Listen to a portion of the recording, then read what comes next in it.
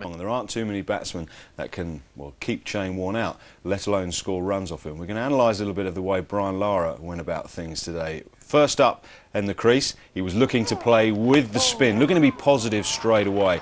I mean, that's as much as anything here. Lara's just defending, isn't he? He's just playing with the spin, putting the pressure back on Warne. It causes Warne and Ponting to have a little bit of a conversation. How are we going to play about it? This is Lara again, working the ball to the leg side. Yes, he could have picked up a run, but as much as anything, that's a defensive shot as well. Ponting talking to Warne about how they're going to cope with him. Now, talk us through the genius of this shot in particular and the footwork, Stuart.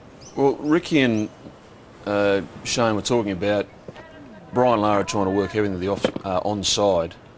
And Warne's obviously said, I'm going to bowl a lot wider off stump, try and hit the foot holes.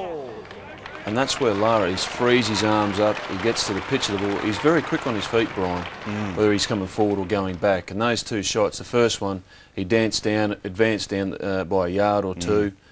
met the ball in the half volley. Mm. It doesn't matter how much the ball's spinning. If you get on the mm. half volley, you can get you know, a good bat on it, go for mm. four. And that last shot, rock back, way, way back in his crease, had plenty mm. of time to adjust to the spin and just punch it through the gap as well. The precision of the footwork is the key here in this shot from Brian Lara. The precision of the footwork and the balance. Sees the ball goes up in the air. Look how still his head is, but how quick his feet move. Right to the pitch of the ball. Bang, hitting the ball right on the top of the bounce. A full follow through from Brian Lara there. That's an outstanding shot. And it's all very well saying, let's be positive, let's try and put Shane Warne off his, off his line, off his length. You've got to know which way it's going. Lara reads him, doesn't he? Lara has been probably, along with Tendulkar, th those two blokes haven't really been tied down by Warne in their careers when they've come head to head. Mm. Uh, you talk to Warney about it, and those are the two guys who he, he really hate, doesn't like bowling at. Mm. And there's not too many blokes in the world that Shane mm. Warne doesn't like bowling at. Those two guys, I've seen Lara just you know, hit Warne out of the ground for fun. Uh, mm. Tendulkar the same in India mm. on pitches that are, are, ten times worse than that one. Mm. So it, it does, it, when you do read a spinner and mm. you, you know which way the ball's going to spin, mm. it makes it a, a, lot easier to play the ball. But, you know, it, it's, it's just something in their mind. They've got it. Other batsmen would love to have it. But, you know, not everyone's born with that gift. Let's put it into context how hard it is to face Shane Warne. Darren Powell was the uh, recipient of a rough spinning leg break which went behind his legs. Now he's a tail ender, he's not out there to deal with the wiles of Shane Warne and score runs, but look at the turn. Look at Hawkeye suggesting where the, the, ball would have gone if it hadn't turned. Look how much spin from round the legs from Powell. But even Sarwan, who averages 40 in Test cricket, really not having an idea of how to kick that out. Now, how do you play this? You're a right-hander. Well, I mean, Lara obviously can get his pad in the way it's coming back at him. But how does a right-hander play this? It's obviously easier for a left-hander uh, playing so much. Uh, but the ball spinning back in is, is generally easier to play than the ball spinning away from the bat.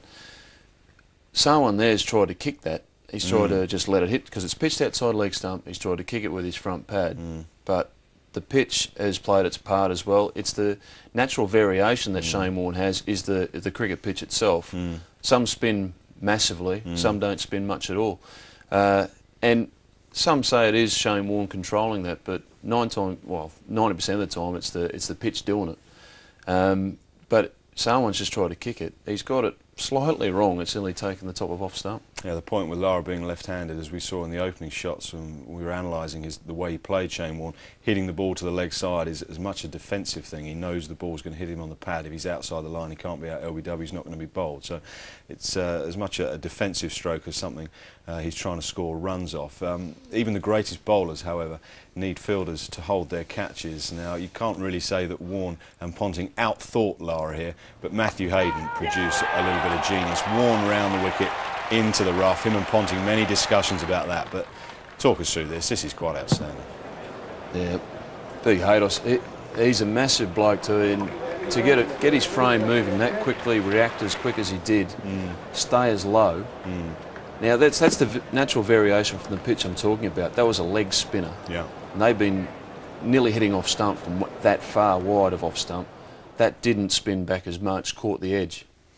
The leading wicket takers in Test match cricket in 2005, headed convincingly by Shane Warne. 83 wickets from 13 Tests, averaging 29, a best of 6 for 46. Freddie Flintoff in second place, same amount of Tests, 67 wickets. McGrath's there with 57.